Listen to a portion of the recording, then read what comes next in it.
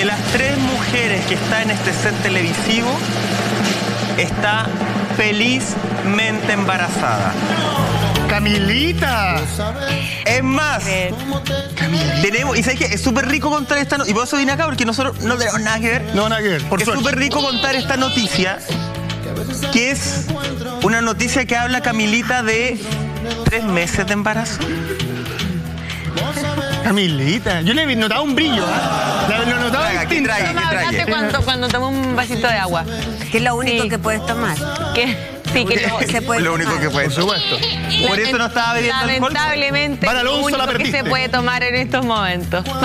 Cara Alonso, perdiste a Camila, una influencer menos.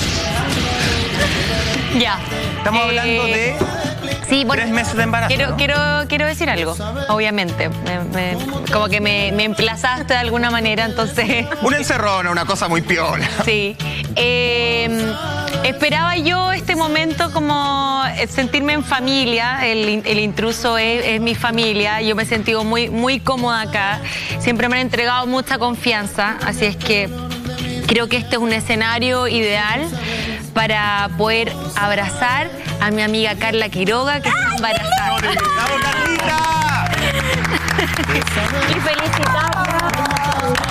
Y felicitarla de corazón, porque obviamente yo sabía y tenía ahí un poquitito de guatita, no se le nota nada. Nada. Pero importante saber, Carlita, cómo te sientes, felicitarte por la noticia y queremos saber todo, pues desde el momento de la concepción hasta No, no ahora. tanto, no tanto, Ah, Carlita, no no, tanto. Oye, Carlita, ¿cuánto? Yo hablaba de tres meses, ¿cuánto tienes? Este mes eh, cumplo cuatro. Cuatro ya. Pasé recién el primer trimestre, que es el más complicado. Eh, la verdad que estuve re mal un tiempo, que es, es algo que muchas veces las mamás no, no hablan tanto. De hecho, yo buscaba información y como que todas hablan de la maravilla nomás. Y, Claro. y yo estuve todos los días vomitando, con náuseas, lo pasé re mal, pero ahora estoy súper bien. Solamente tengo dolor de espalda nomás, nada más. Eh, me encantó cuando me enteré de la noticia, de verdad, estábamos los dos felices con Andrés. ¿Lo estaban buscando o fue.? Lo, eh, lo- lo divertido es que lo estábamos buscando recién. Ah. Recién, o sea, recién y yo quedé embarazada al tiro. Tiro. Pero habla bien de la de los dos. Al tiro. Sí, ¿De qué? ¿Qué sí. acaba de De decir? la ADN de ambos, porque hay mucha pues. gente que le cuesta mucho. eh, lo- Mira, también está embarazado. embarazado. ¿Cuántos meses? Sí, esto se llama piscola. Lo voy Ya, a pues no alcohol Es una hasta ahora. hinchazón que me Cuatro meses lo estaban buscando, están los dos chochos. Eh, ¿Sabes ya el sexo de la guaguita? Sí, supe hace muy poquito y es niñita. Mira. Ay, qué lindo. Aplauso para la Carla. La Carla que ha sido parte de, de este canal durante harto Sí. tiempo ahí desde la Sisomo y la gente te quiere mucho. Por las dudas siempre compra ropita de todos los colores, porque a veces dicen que es niñita y después sale un tremendo niñito. Ay. Muchas veces ha pasado, Carlita, de verdad. O sea, hoy los ¿Ah? Sí. No, hoy en día yo tuve en Uruguay hace muy poco un amigo que era, era niña, niña, niña y terminó siendo niño. Y es verdad, o sea, muchas veces todavía existen ese tipo de, de confusiones, eh, eh, entonces hay que estar ahí atenta, Carlita, porque de repente aparece otra cosita en el medio y termina siendo un niñito hermoso. Oye, ¿ya han dedito nombre? un dedito meñique aparece ahí en la ecografía. pensaba que era un brazo. Ya, pues señora. Ay, bueno. ¿Ha pensa- ¿Tienen pensado como nombre? Yo ¿Estoy la buscando? verdad que desde que antes de yo saber con certeza que estaba embarazada, yo lo presentí inmediatamente. Eh, yo le decía a Andrés, estoy embarazada, me decía, ya, pero ¿cómo tan rápido? Si la gente igual le cuesta su tiempo. No, yo sabía que yo estaba embarazada. Eh, y al tiro le empecé a decir su nombre, se va a llamar Anastasia. Ah, pero desde el minuto uno. Sí, desde el minuto uno. ¿Eso también te pasó Sí. con la, el nombre? ¿También te llegó Me como llegó de golpe? solo, de golpe. Y siempre supe que era niña y también yo le Ya, decía- pero mira, están matando el momento. Ya, Eh, pero tanta interrupción. Baby Yoda. Sí, Baby Yoda. 50 años ya tiene. 50 años. Ya. Es como salfate, este, como, Como Benjamin salfate ahí en la ¿Te imaginas? frente. No, vale, salfa. Oye, eh, el nombre también como que te digo, ¿qué significa Anastasia? Buscaste el... Resurrección. Pero la verdad que me llegó solo el nombre, no porque supiera el significado. Eh, Andrés buscó el significado Sonó porque a él le vino. Y, eh, y claro, y vio que significaba resurrección. Y bueno, al principio él me decía, la está tratando como niña todo el rato, diciéndole nombre de niña. y si no es niña, y yo decía, no, yo sé que es niña, yo sé que es niña, sé que es niña. Y efectivamente cuando fuimos a la ECO el otro día, el doctor preguntó, ¿tienen apuestas?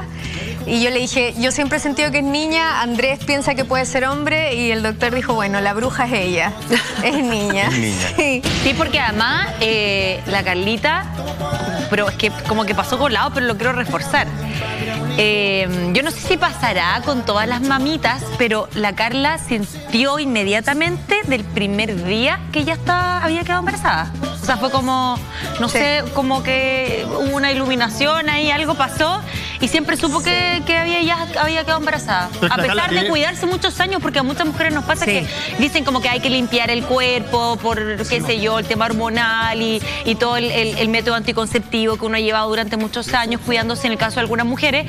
Pero no, supiste inmediatamente. ¿Qué sentiste, Carlita? ¿Qué, se, se puede explicar qué es esa sensación que tú dijiste, "Oh, sí, estoy embarazada? Sentí como que había un milagro en mí, porque es algo que tú no controlas, po. O sea, puedes tener ganas, puedes tener la disposición a tener una guagua y es como que solo Dios sabe si te lo da, si no, si se va a demorar el proceso. Y curiosamente a mí me pasó que en las primeras semanas me, me empecé a enterar de muchas historias de mamás que, o sea, de mujeres que quieren ser mamás y no pueden.